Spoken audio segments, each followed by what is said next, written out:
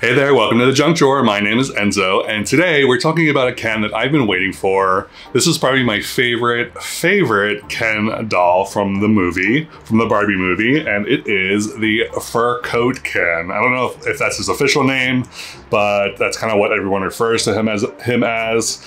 But um, yeah, this Ken is insane the uh, from the packaging to the doll itself there's so much going on. So let's take a quick look at the actual box. So here is the front of the box. And then the side the side is actually embossed. It's it's kind of hard to tell but it says ken i believe right yeah, on the bottom it says Ken, and then there are like these like lightning bolts on the side, but they're like really deeply embossed into the plastic, which is really cool. And that's on both sides. And then the back is just a Ken uh, logo in black and white. But my favorite part about the box is the front and his logo is like crosses out the Barbie logo. So I that's such an awesome uh, little detail there, and it's kind of amazing. So other than that, like the background is kind of like whatever. It's a black background, um, but yeah, I don't know. I think, uh, yeah, he's just he just he's so cool looking. And so let me uh, actually, I was, and I was debating whether to actually take him out of the box because I do like the packaging so much. But I definitely want to take a closer look at the details of the doll. So I'm definitely going to take him out, but I might try to put him back in the box when I'm done. So we'll see how that works, if that works.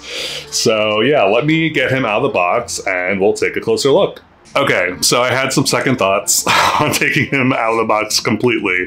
So I compromised. I took him out of the box, but I'm not going to remove him from his backing uh, because I'm a little concerned about getting him back into the backing uh, the way I want him displayed. So compromise. So here is uh, actually, first I should show you, he comes with a stand, and uh, I'm assuming it's the same black stand that all the other ones, or, or the same plain stand that all the other ones have come with, and the uh, COA in the back there. And here he is, up close and personal. So this, I mean, this fur coat is insane. It is so, it is so like in your face and so big, and it's amazing. I am so happy with this coat.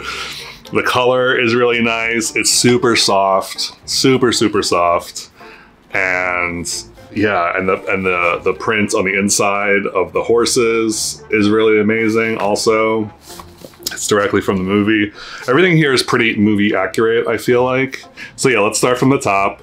So his hair is uh, gelled as always, and uh, the only thing is with his hair, I love that they gave him these like little bangs but in the promotional images it's like one solid piece and that, that's like super super nitpicky but i just noticed that.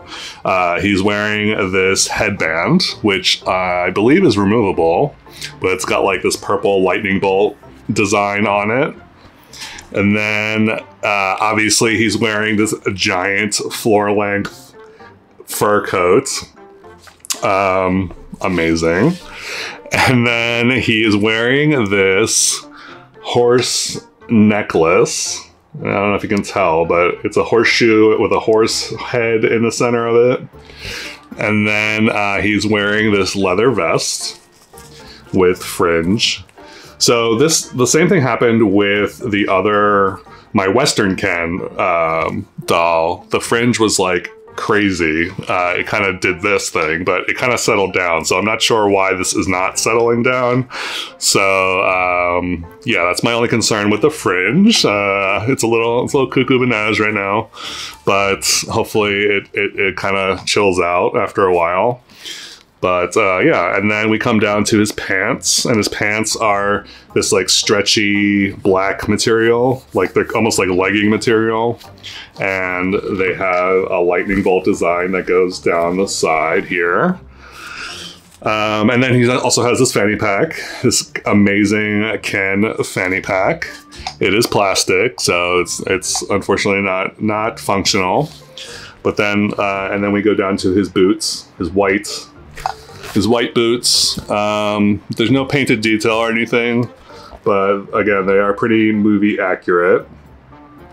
So um, yeah, and then articulation, I'm gonna assume it's the same as every other movie doll. He does definitely have articulation, you can obviously tell here. But um, yeah, so so this is Fur Coat Ken. Um, yeah, I am so happy to finally have this. I feel like we order I ordered this like so long ago and to finally have it in my hands is incredible. So so yeah, let me know what you think of Fur Coat Ken in the comments below. And um, thank you as always for watching. I really do appreciate it. Uh, if you haven't already, please remember to subscribe. Uh, have a great day and I will talk to you soon.